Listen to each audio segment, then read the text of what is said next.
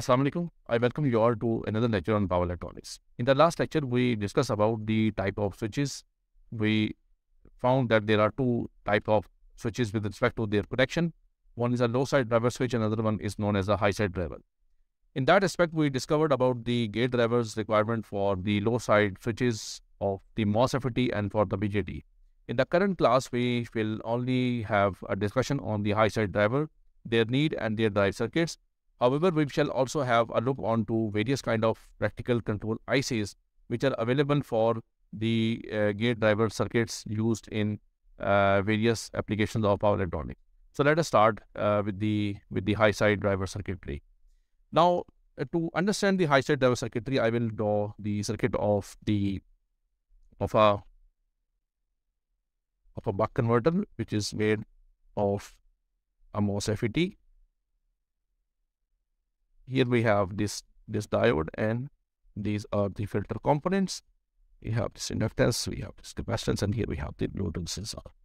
Now, for uh, likewise any MOSFET, this MOSFET will only work when the gate to source voltage will be greater than the threshold voltage for a given uh, for a given device.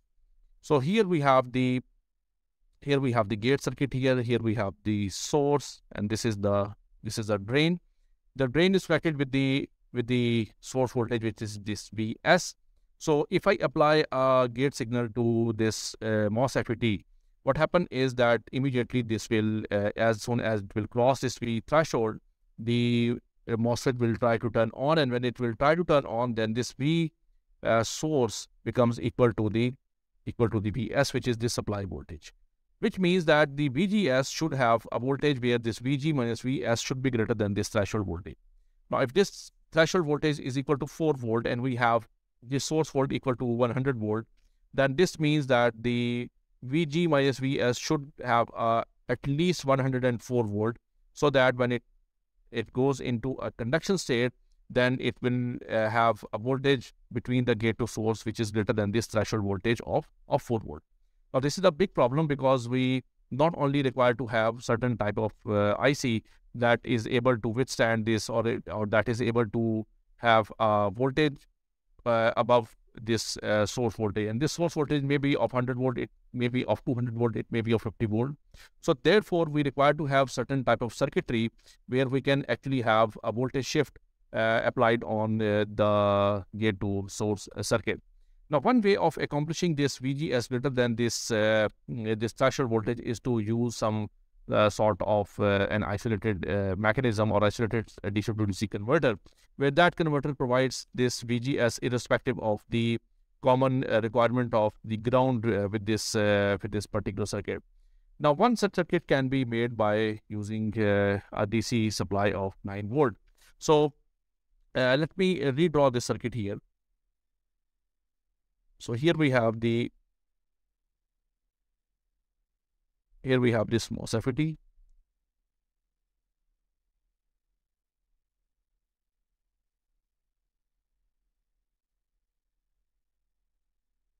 Now we want to turn this on by using some isolated mechanism. One way is that we have some sort of IC, let us suppose this is TC4424 TC4424 is a very versatile and a very convenient uh, IC to drive the power semiconductor switches irrespective of their of their position in the circuit. So it is a high side driver, it could be a low side driver, so that is not a problem uh, to turn this MOSFET on using this this particular uh, uh you know circuit that I am uh, going to explain here. So here we have the here we have the input coming in. So this is the system here. The VCC, instead of giving it from the circuit common, we come we make this VCC available through some uh, some battery of 9 volt battery here. Let us say we have this we have this 9 volt battery here, and we have uh, we have a common ground here. So whatever we are getting here at the output is actually a 9 volt signal with respect to uh, with this according to the negative terminal of this 9 volt battery and we shall be connecting this to to this circuit this is the gate circuit here and this one which is the negative terminal of the battery remember i'm talking about this battery which is a, a very simplified why batteries are available with this uh, 9 volt uh, voltage rating it's not a Uh, it's you know it's it is very commonly available even in the common shops. So we will try to connect this negative one. We will take this negative uh, side here and we will connect it with the the source here. So now this gate to source uh, channel will be formed by the power supplied by this simple uh, battery without having a need for the voltage shift of of this uh, gate signal so that this VGS is become greater than this this V threshold. Now this is a sort of a method which is not a standard method. However, it is successful. You can successfully uh, you know rectify a given circuit before you know you want to create an actual uh, you know circuit. It will work fine. But there's a problem that this battery which are which we are we have used to bias this uh, TC4424 or which is used to power supply this uh, particular IC, this has a limited energy here, right? So the energy is limited, and this means that the uh, it will drain uh, within you know a very short span of time, uh, depending on the gate current requirement here. So an alternate method is to use an isolated supply here. So instead of having the instead of having this uh, as a battery, we can also use some isolated DC to DC power supply, uh, which is uh, can be made by which can be made by using any isolated DC to DC converter. But again, when we have these isolated converters available or isolated uh, DC power supplies available, it will make the overall circuit more complex. One way of having a voltage shift or to to gain the voltage shift is to use some circuit where uh, we have uh, sort of a voltage uh, clamping circuit. The voltage is clamped such that the VGS stays above the V threshold for the entire duration of the on time. So we will discuss this uh, this circuit now. So let us say that we have we have a device here that we want to that we want to turn on. Here we have the here we have the load this is the ground. Let us say this is this is Vs. So here we have the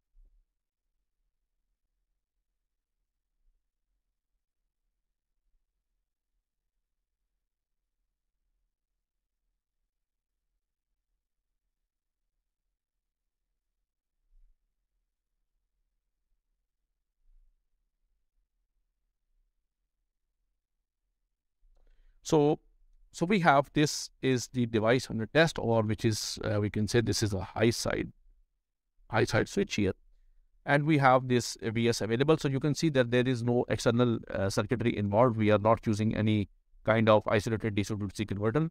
Rather, we have a network of components which are now used to have an artificial uh, voltage uh, shift to make this device in an on state uh, during the uh, time when we want to turn this device on.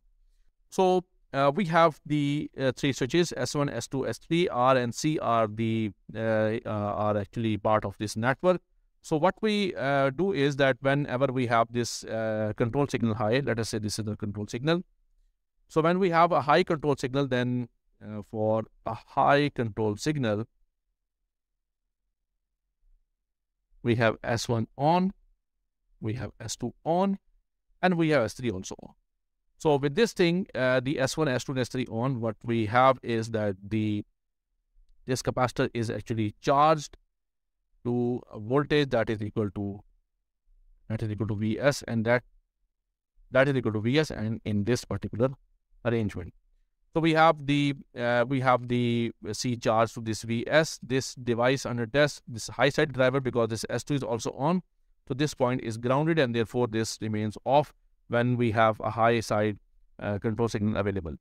So, uh, so with this S1, S2, and S3 on, we have the capacitor charged at capacitor charges at equal to this Vs. So when we apply a low control signal, then the switch S1 and S2 they both become uh, off, and therefore the capacitor shall have uh, the voltage across the resistor and the and the gate circuit. So this is uh, this is quite a, an interesting thing here. So you see here that this particular point here we have this Vs. This is plus, this is minus, and this complete becomes equal to equal to this VGS. So now if we apply if we apply the the KVL in this uh, in this particular loop, then this KVL states that we have we have the VG minus Vs, and then we have this minus Vs, and that is become equal to zero. So Vg becomes equal to two times two times the Vs value, and this uh, actually turns on this device for the duration when we have a low control signal applied on on this particular device. This circuit, this particular circuit, where we are using this diode, this capacitor, and this resistance is uh, this is known as a bootstrap uh, a bootstrap circuit here. So bootstrapping is the second way of of turning on the high side driver circuit. The first way that we have uh, elaborated is by the use of a DC battery and we can also use some isolated DC to DC converter. The second one is that instead of using additional uh, DC to DC converters here, we can have a bootstrapping circuit here that actually works like a voltage uh, clamping circuit such that when we apply the high side uh, high signal to these these switches S1 and S2, this capacitor gets charged to a value equal to this Vs and when we turn this uh, control signal uh, off, then the device under test or the high side driver uh, has uh, get, gets a signal VGS that is equal to 2 times the Vs value. So with this with this value of 2 Vs, it remains turned on during the entire duration when the uh, signal of the control side is low.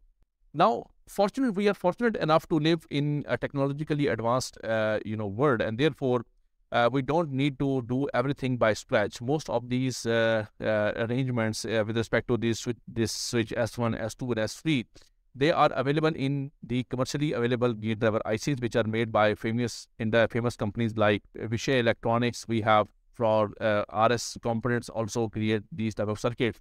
And these circuits have internally available components that act like these switch S1, S2, S3 most of the time just to uh, actually get the control on the on the applied voltage for the high side driver circuits these uh, two pins R and C are left open. And formulas are given to adjust their values according to the requirement of any given circuit. So we will uh, undergo these uh, these control ICs now. So These control ICs are available uh, in, in different uh, uh, configuration, in different pin sizes. they are available for the surface mount devices. They are also available in dual inline packages. And various companies create ICs for various kind of you know requirements. So we can we can classify these control ICs in three different types. The first one is those ICs which are only for low side driver circuits or they are made only for for the high side driver circuit. Then there are control ICs which can be used for both high and and low side switches.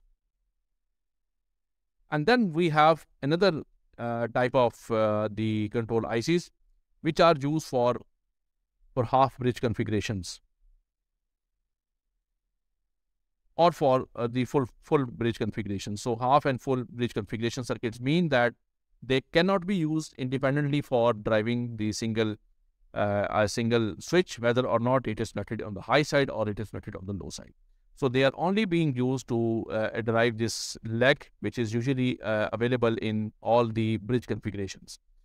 The one which we uh, can use for independently for low and high side switches, they are acknowledged by the student community because most of the time when we provide them the circuits to uh, to develop, they are the boost converter and the buck converter and the other basic converters. And most of them they opt for these uh, switches that can be used for the low and the high side driver circuits.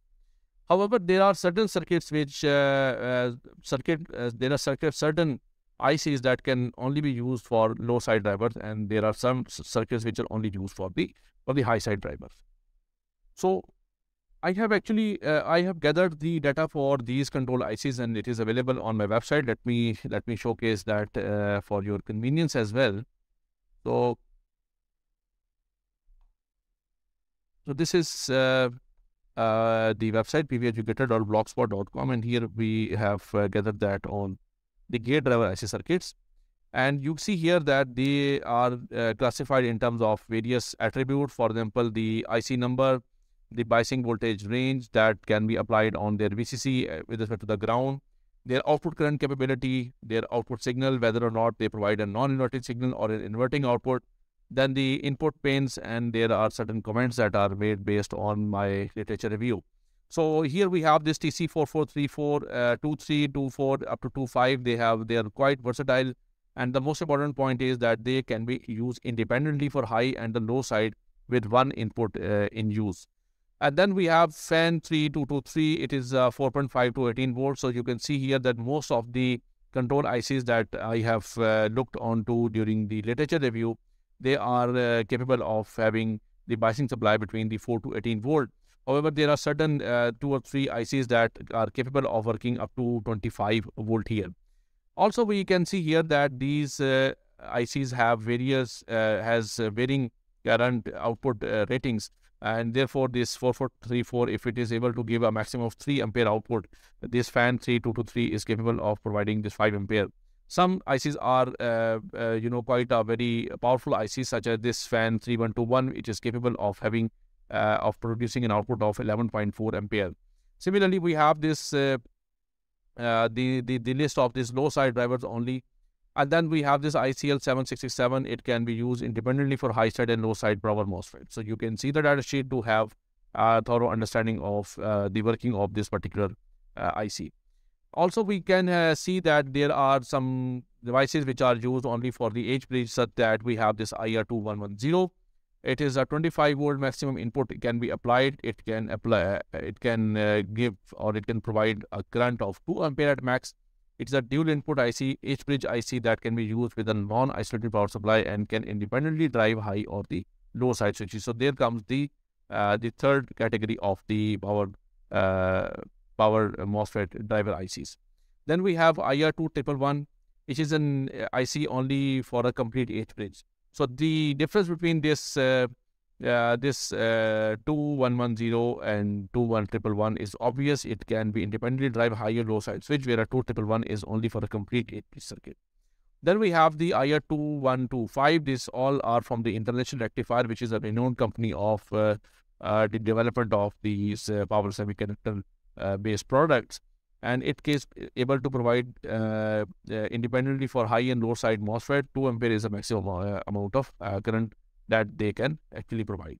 And the, in this same uh, thing, uh, this is the uh, the uh, this is the circuit schematic that uh, that can be used to uh, use this IR to this is to TC4424 IC, and it can be used to to drive the power MOSFET by using the using the battery. As so for the battery, you just need to provide this VDD here through that through that 9 volt or 10 volt or 9 or 12 volt battery.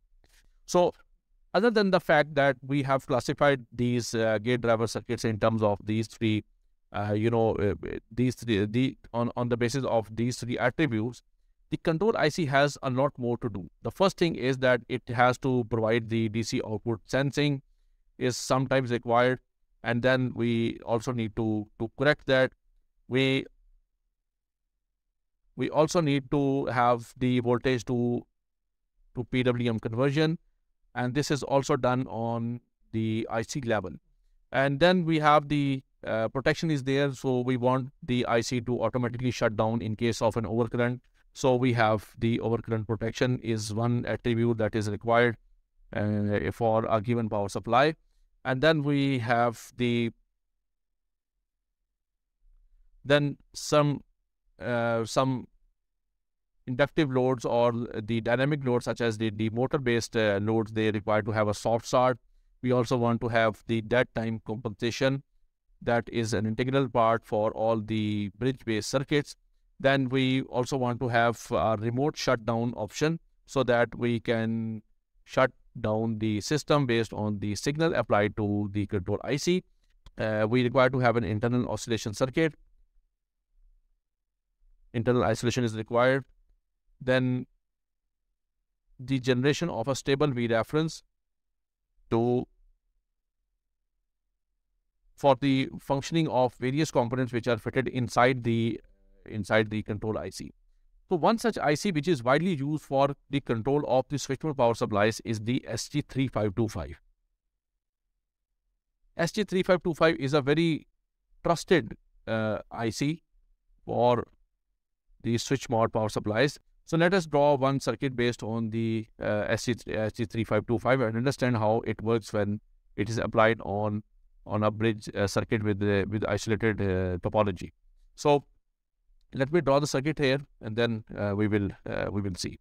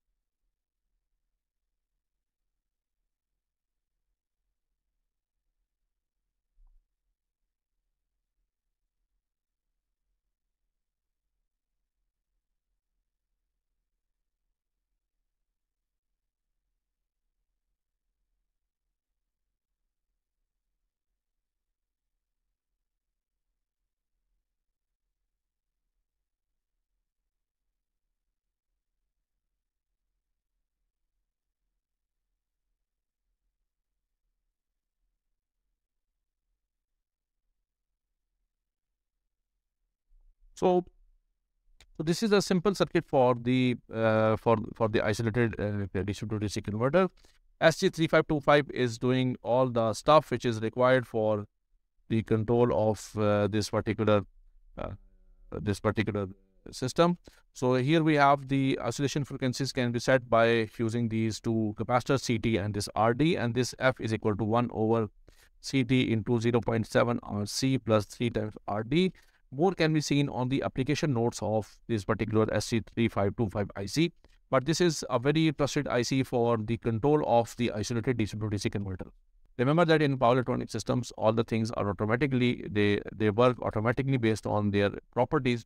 However, there are only the switches that are need to be controlled. And those switches require to have a complete circuit where we have an isolation between the control algorithm and the uh, the power side.